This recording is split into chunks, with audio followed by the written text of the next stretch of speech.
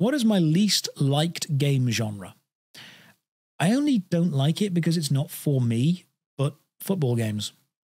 And I I like them the least because I believe there is the least possible scope for variation or improvement within them. I'm always impressed when someone can make a really accurate, really fun football game. Okay, cool. But I just, I look at them and I'm like, right, you've done, you've finished. If you release a sequel to this, what are you going to add? There is very little that you could add without fundamentally changing what this thing is. What is your least favorite herb? For me, it's coriander. Dizu, before I leave for a break, let me tell you something.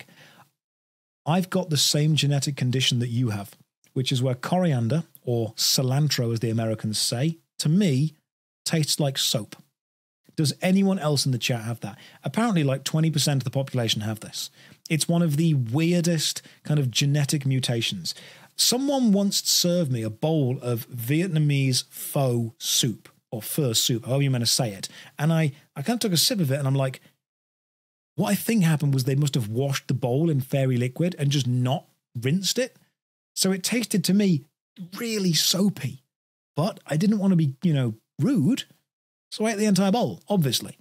And then afterwards, I, I Googled Vietnamese soup soap to see if it was just a cultural thing. And they were like, oh, yeah, if there's coriander in that, you'll taste that. So, yeah, coriander, uh, coriander to me tastes like soap, which sucks. And I, I don't like that at all.